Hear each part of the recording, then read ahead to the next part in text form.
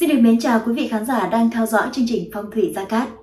Thưa quý vị, đối với người tuổi Ất Dậu sinh năm 2005 thì con đường học vấn là mối quan tâm hàng đầu bên cạnh sức khỏe và gia đình. Tuy nhiên không vì thế mà trong cuộc sống của người tuổi Ất Dậu không có những khó khăn hay là trắc trở. Xem tử vi cho tuổi Ất Dậu trong tháng 1 âm lịch này chính là cách dựa vào hệ thống sao chiếu mệnh, sao hạn và sao chiếu theo năm để có thể dự đoán những khó khăn có thể xảy ra. Và cùng với đó, tử vi cho tuổi Ất Dậu sinh năm 2005 trong tháng 1 này còn giúp cho các bạn biết được những điều kiêng kỵ không nên làm trong tháng 1 âm lịch để chúng ta có thể giảm thiểu những điều xui xẻo đến với mình. Và sau đây thì sẽ là phần luận giải chi tiết về tử vi tuổi Ất Dậu sinh năm 2005 trong tháng 1 âm lịch.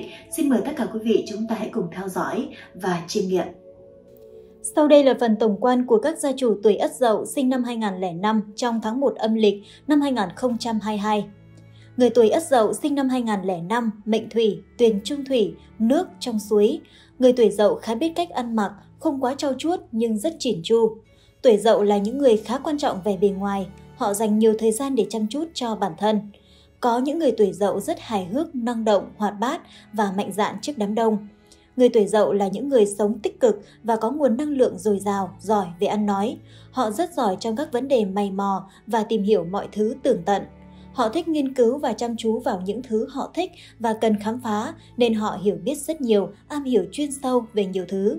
Trong công việc hay cuộc sống, họ đều là những người quyết đoán, nhạy bén, biết cách bộc lộ bản thân. Họ không bao giờ chần chừ trước cơ hội mà nắm bắt tất cả. Tính cách của người tuổi dậu khá cục tính, họ không quá ngọt ngào lãng mạn mà mang chút kỳ quái. Dù là vấn đề gì, họ cũng là người ưa tranh luận để tìm ra chân lý, có tính cố chấp và khăng khăng cho rằng mình đúng nên đôi khi cũng hay để vụt mất cơ hội. Họ là người rất dễ nhận thấy sai lầm và khuyết điểm của người khác bởi sự tinh ý và tinh tế trong ý thức, nhưng lại không chịu chấp nhận cái sai của mình mà cố chấp một cách bảo thủ với định kiến của bản thân. Giai đoạn này, người tuổi dậu sinh năm 2005 đang bước vào khoảng thời gian quan trọng trong sự nghiệp học hành. Bản mệnh có thể phải chịu áp lực học tập khá nặng nề, vì thế cần phải có sự cổ vũ động viên của người thân cũng như sự tích cực chủ động của chính bản thân mình. Đây chính là khoảng thời gian bạn có nhiều biến đổi về tâm sinh lý, vì thế cần phải chủ động trò chuyện, tâm sự với cha mẹ hoặc những người đáng tin cậy để kịp thời hóa giải khúc mắc, chứ nên giữ mọi chuyện trong lòng kẻo dễ gây ra căng thẳng. Bản mệnh cũng không nên dành quá nhiều thời gian cho chuyện tình cảm, gây ảnh hưởng đến thành tích học tập của mình. Hãy xác định nhiệm vụ chính của mình là gì để thực hiện cho đúng bạn nhé. Xét về thiên can, ất âm mộc gặp nhâm dương thủy nên gọi là thương quan, nghĩa là bản thân bị khắc chế. Đối với các gia chủ tuổi ất dậu trong tháng này, cần phải cẩn trọng hết sức các mối quan hệ xung quanh mình, tránh vì những mâu thuẫn nhỏ mà xảy ra xung đột không đáng có.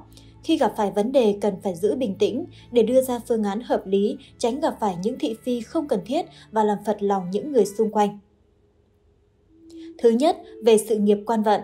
Xem tử vi tháng này, người tuổi Ất Dậu có các tinh hỗ trợ mạnh mẽ, phương diện học tập của đương số có nhiều điểm sáng, thành tích được cải thiện. Bạn được quý nhân giúp tìm ra phương pháp học tập phù hợp hơn, năng lượng tiếp thu kiến thức cũng mạnh hơn, khiến cho cha mẹ và thầy cô rất hài lòng. Quý nhân có thể là một người bạn ở ngay bên cạnh, học thầy không tài học bạn, quả là bạn bè thì có những cách học khiến cho bạn cảm thấy dễ tiếp thu hơn so với bài giảng trên lớp của thầy cô. Tinh thần tự giác học tập ngày càng được cải thiện, bạn hiểu được mình còn yếu kém ở mảng kiến thức nào và tự lấp đầy lỗ hổng bằng những giờ tự học. Tuy đôi lúc không tránh được việc bị các yếu tố bên ngoài chi phối, gây mất tập trung, nhưng may là mọi việc vẫn nằm trong tầm kiểm soát và kịp thời sửa chữa nên không xảy ra ảnh hưởng quá lớn. Việc thi cử trong năm cũng có thể đạt được thành tích như mong muốn, dễ dàng vào đứng ngôi trường mơ ước. Năm nhâm dần 2022, Thái Tuế là hạ ngạc đại tướng quân, dưới chân của đại tướng quân có một con hổ, để cho vận trình sức khỏe và gia đạo được hanh thông thuận lợi. Thầy Gia Cát khuyên quý gia chủ hãy luôn mang theo bên mình một kim bài thái tuế để nghênh đón thái tuế, mang lại may mắn bình an.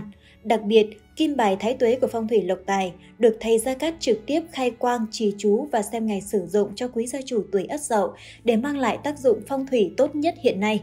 Vậy nên gia chủ hãy hoàn toàn yên tâm khi sử dụng kim bài thái tuế của thầy. Thứ hai, về mặt tài lộc và tiền bạc. Vì vẫn đang trong độ tuổi ăn học nên con giáp này chưa cần phải quá lo lắng về vấn đề tài chính, vẫn được cha mẹ chu cấp.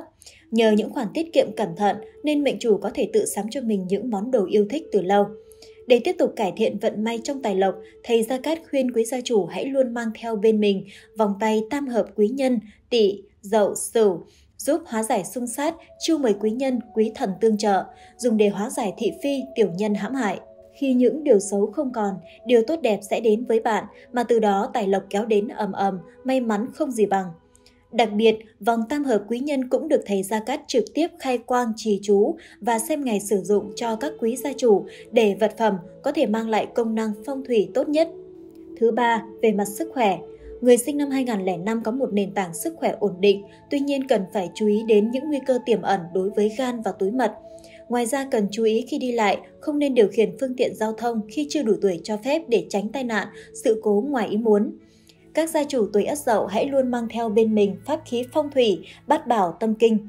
Đây chính là vật phẩm phong thủy có tác dụng kỵ tà hóa sát, đem lại may mắn bình an và sức khỏe cho quý gia chủ. Để vật phẩm có thể phát huy được tác dụng tốt nhất, thầy Gia Cát sẽ khai quang, trì chú và xem ngày sử dụng vật phẩm theo tuổi của các gia chủ tuổi Ất Dậu.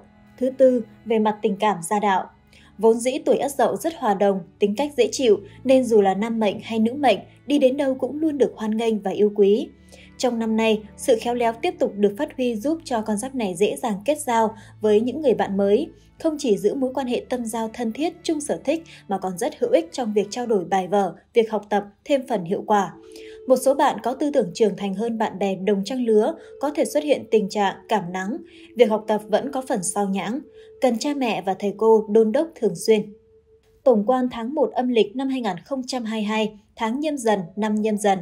Tháng 1 âm lịch được bắt đầu từ ngày âm lịch từ 1 tháng 1 năm 2022 và kết thúc vào ngày 30 tháng 1 năm 2022, tức ngày 1 tháng 2 năm 2022 đến 2 tháng 3 năm 2022 dương lịch. Tháng 1 nhâm dần có nạp âm là kim bạc kim, tháng dần lục hợp hợi, tam hợp ngọ và tuất thành hỏa cục, xung thân, hình tỵ, hại tỵ, phá hợi và tuyệt dậu. Đối với người tuổi Ất Dậu trong tháng 1 âm lịch này sẽ cần phải tránh các ngày. Ngày âm lịch ngày 7 tháng 1 năm 2022, tức ngày 7 tháng 2 năm 2022 dương lịch, có nạp giáp là Tân Mão, có nạp âm là Tùng Bách Mộc. Ngày âm lịch ngày 19 tháng 1 năm 2022, tức ngày 19 tháng 2 năm 2022 dương lịch, có nạp giáp là Quý Mão, có nạp âm là Kim Bạc Kim. Đây chính là hai ngày không được cát lành khi tính theo tuổi của các mệnh chủ tuổi Ất Dậu.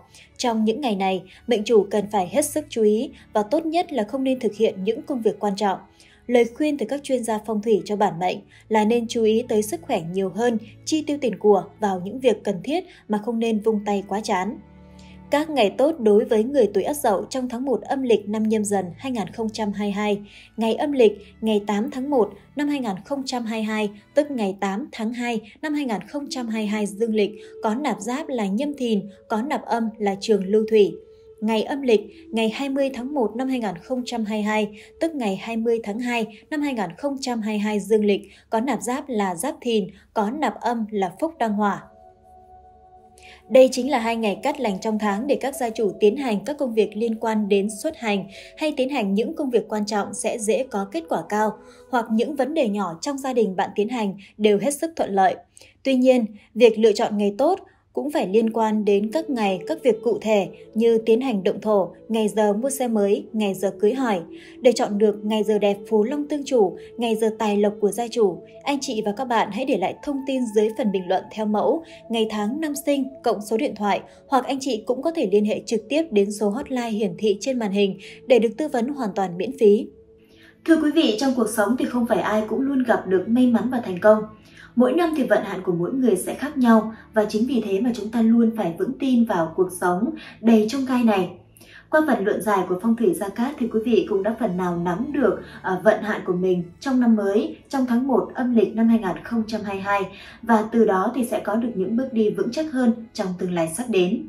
Rất cảm ơn tất cả quý vị đã quan tâm theo dõi và đồng hành cùng với chúng tôi trong suốt thời gian vừa qua. Còn bây giờ thì xin mến chào và hẹn gặp lại.